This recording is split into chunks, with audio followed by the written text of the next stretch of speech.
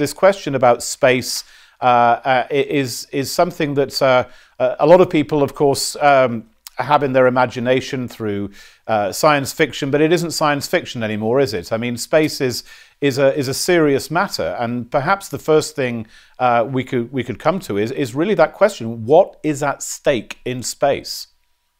Well, um, I'm Stuart Peach. I'm the chairman of the NATO Military Committee, and I just want to assure you at the beginning that we take space very seriously. In fact, it's now an operational domain in the North Atlantic Treaty Organization.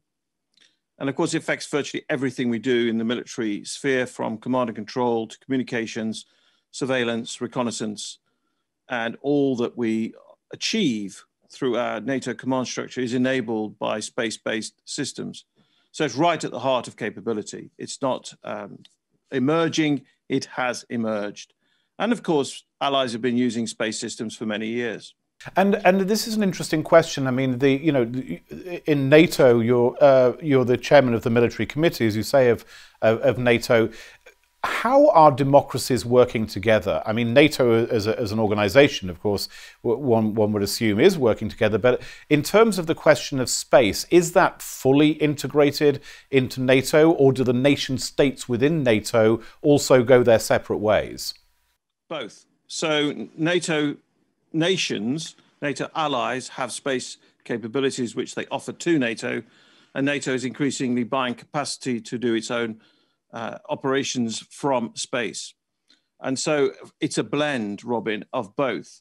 And of course, uh, the creation of space as an operational domain for the alliance is a major step forward. And we announced last week that we will create a NATO Space Operations Center at the uh, NATO Air Command Air Base at Ramstein in Germany. And so we're moving quite quickly to bring to life this blend of nations offering capability and NATO owning capability. So it's a blend of both. And, and what, uh, not everybody understands the, these issues intimately, and certainly not as well as you do, Air Chief Marshal. What actually is being done? What, what when, when it comes down to it, I mean, one imagines, of course, satellites and global positioning systems and all that kind of thing. But even beyond that, what, what actually is the strategic thing that NATO is doing and other, other non NATO countries are doing? Well, communications is vital to all military operations. Uh, that's been true throughout history, but it's particularly true now. And space based communications satellite capability allows us to command and control, allows us to organize. And so, right at the heart of our command and control capability, as we have done since the Cold War, we have used employed space for command and control. Communications has developed rapidly space-based communications. I know from my own operational experience, we have used it for many years, but it was quite difficult and it was often quite time consuming. It's now much more routine. You mentioned GPS. Of course, we rely on GPS. In fact, the whole world relies on GPS for many day-to-day routine functions. In the military, we rely on GPS for timing, for navigation, for precision. And so it is a very important that we understand that it isn't just about enabling now from space, it's about our ability to understand. So I'd include intelligence, surveillance, reconnaissance as part of that. All those capabilities can be flown in space and near space. And there are different types of orbits, and there are different functions that can be better delivered at high Earth orbit. I'm sure you'll have subject matter experts on your panel explain that, or medium Earth's orbits or low Earth orbits. It depends on the type of capability you, you seek and you procure. So NATO is, is understands this, uh, and of course we continue to develop our capabilities. Just one other issue on this question of communications for for we non-experts, which of course is most of us. Um, those of us uh, around the world who use the internet, which is a lot of us, um, rely on fiber optic cables um, if we're lucky and we live in, in advanced and wealthy countries. Um, a, a, lot of the talk about the future of the internet is that the delivery will be via satellites. Uh, it simply means that you could get it anywhere at high speed. Um, to what extent does that pose, insofar as that is actually on the horizon, does that pose a, a security threat? I mean, you know, hacking is a problem anywhere. Hacking into into internet delivered or, or, or sorry, sorry, satellite delivered internet services um, potentially is a huge headache, isn't it?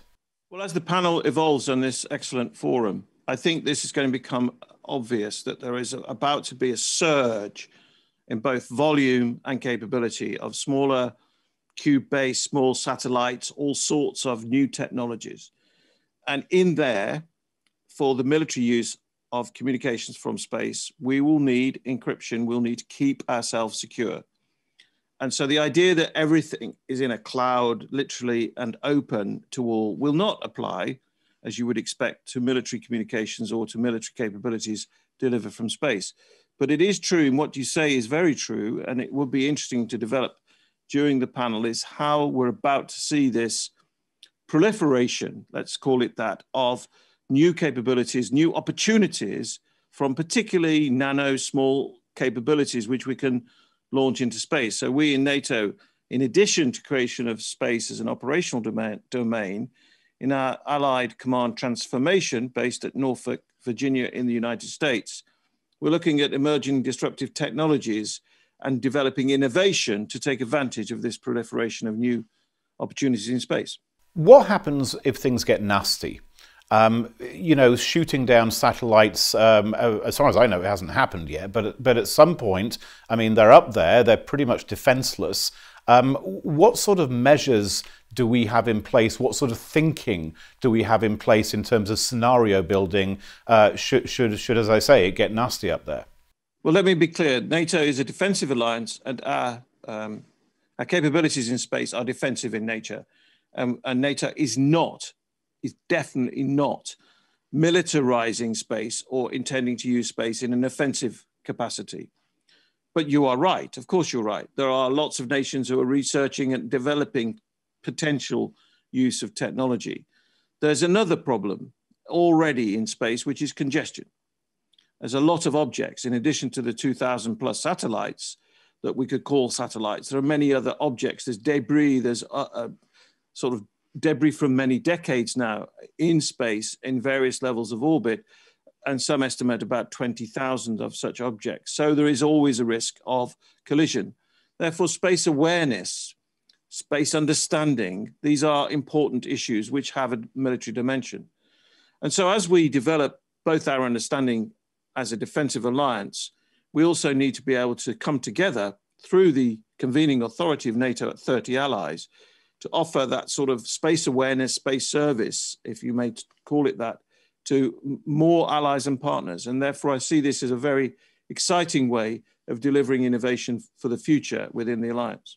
That question of congestion raises an, uh, an interesting uh, scenario that e even without ill intent, we could start almost literally rubbing shoulders with each other in a very crowded domain. And, and at that point, uh, I guess the question arises uh, about who's going to govern. Uh, space. Uh, it's a very big thing, to put it mildly. Uh, but even in the sort of, you know, the relatively close uh, domains of lower, middle, and, and, and, and upper orbit, uh, you know, there is this danger of congestion. Somebody's going to have to decide who has the right to the, quote, real estate up there. Um, where do we stand in terms of global governance uh, of space?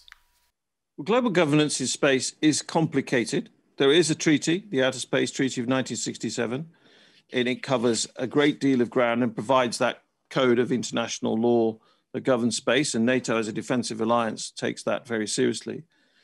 Beyond that, of course, there is amount of room for maneuver within the space actors.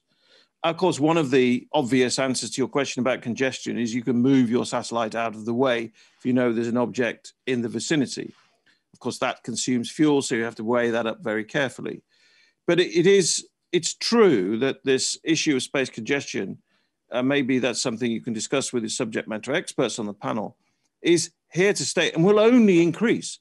And this, uh, this proliferation I talked about earlier of nano small satellites and new objects in space will only add to the number, whether it's close to the Earth in low or medium or even at high orbits at 35,000 kilometers. So it's a very real issue. Getting out, uh, and perhaps uh, to those of us who are always excited by, by space and, and science fiction and so on, uh, as, I, as I said at the beginning, it isn't fiction anymore, it's very much a reality. What about getting a little bit further out? I mean, you know, why do we not put uh, architecture, uh, defensive architecture on the moon, for example? Is that something that's part of our long-term plans? I mean, uh, you know, th- there are th- there are ideas about obviously uh, manned missions to Mars, and they always start out scientific, but I mean, there's often a commercial and a military dimension which quickly follows. But what about further out in space? Where, where does does NATO's uh, vision uh, stop? Well, NATO is a is not just a peaceful organization, but also uh, the sort of activities you postulate are banned by the Outer Space Treaty of 1967. So the use of the moon and celestial bodies is prohibited for anything other than peaceful purposes. And there is no intention in NATO to develop space programs like of which uh, to explore as nation states may. Indeed, some are indicating their, their will to do so. We are really about using space to enable our operations in the world so that we can keep the 30 uh, allied nations 1 billion people safe and secure. And therefore, space for NATO is very much as a defensive alliance an enabler.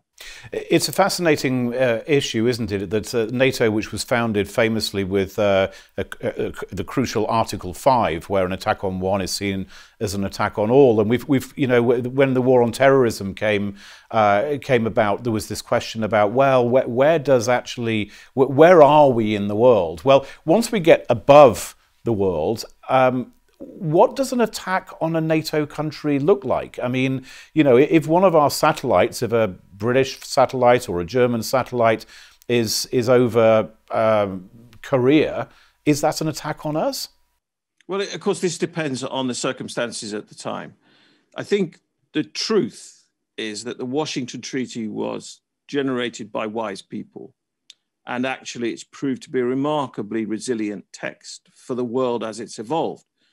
And we have now evolved into cyber. And of course, the question you raise has already been addressed at NATO summits recently uh, in terms of cyber as an attack. Is that covered by Article 5? To which, after deliberation, the Allies said yes. So we continue to look in all domains, in, in, in 360 degrees doesn't just apply to the geography of the world. It also applies both to the space and, of course, underwater. So this is a very interesting and live debate. But what I've encountered in this role in support of the alliance is, is very much that the basic text, the Washington Treaty, is sufficiently flexible for the world as it's evolved through the wisdom of our forebears.